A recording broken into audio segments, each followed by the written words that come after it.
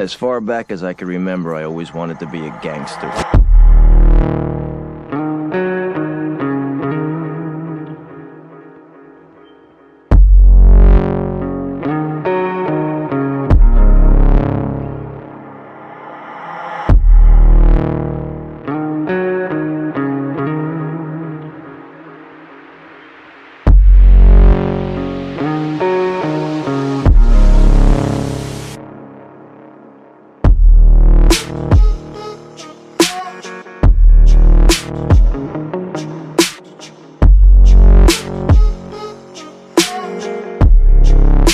To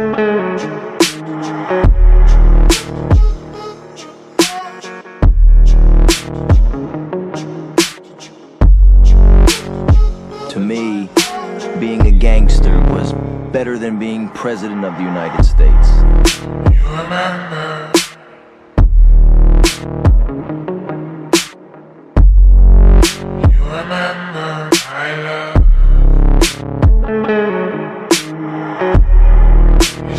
You